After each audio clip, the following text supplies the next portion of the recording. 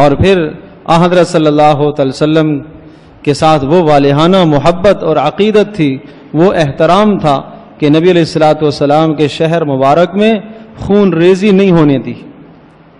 और हज़रत अली ने, दीगर अशास ने, सहाबा ने ये कहा कि आप हमें इजाज़त दें, जिन लोगों ने आपके घर का घेराव किया हुआ है, मुहासरा किया हुआ है, हम कत्ल कर दें। दो बातें हैं, या तो आप खिलाफत छोड़ दें और हम नया खलीफा नामजद करके हम इनसे निमट लें। तो इरशाद फरमाया, भाई, मुझे रसूल पाक सल्लल्लाहु अलैहि वसल्लम ने ये इरशाद फरमाया था कि अल्लाह पाक तुझे एक कमीज़ पहनाएगा और लोग उसको उतारने की कोशिश करेंगे तुझसे, आप मत उतारिएगा। वो कमीज़ खिलाफत थी। कि अल्लाह पाक ने मुझे ये खिलाफत अता फरमाई है, मैं इसको सल्लल्लाहु अलैहि वसल्लम के फरमान के मुताबिक नहीं छोड़ सकता। बाकी रही ये बात के कत्ल करवा दिए जाएँ। मैं इसकी इजाज़त नहीं देता कि रसूल अकरम सल्लल्लाहु अलैहि वसल्लम के मुबारक शहर के अंदर खून रेजी हो।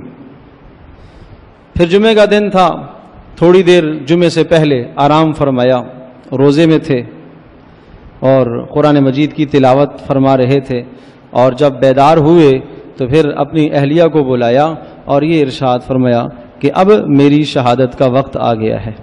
अब मैंने ख्वाब में देखा रसूल पाक सल्लल्लाहु अलैहि वसल्लम बकर सिद्दीक रज़ी अल्लाह तु और उमर फ़ारूक रज़ी अल्लाह तु तीनों तशरीफ़ फरमा हैं और मुझे ये इरशाद फरमा रहे हैं कि उस्मान, आज इफ्तारी आपने हमारे साथ करनी है। तो बस मुझे यकीन है कि मेरा आखिरी टाइम आ गया है। तो इस तरह से जान दे दी उन्होंने नबी सलाम के शहर का, आप सलाम के घराने का नबी सलाम की मस्जिद का तकदस पामाल नहीं होने दिया। आ हज़रत अलैहि वसल्लम का इस कदर एहतराम करते थे।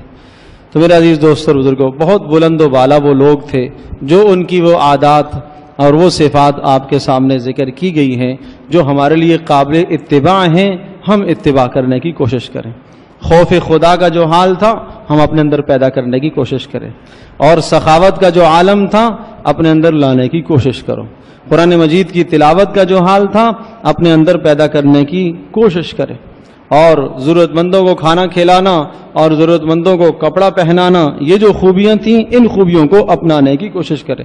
और रसूल पाक अलैहि वसल्लम का इरशाद है कि जो आदमी जिससे मोहब्बत करेगा और जिसकी वज़ाक़ता इख्तियार करेगा, जिसकी आदात और इतवार, अतवार को इख्तियार करेगा, अल्लाह पाक उसका हशर उसी के साथ फरमाएगा।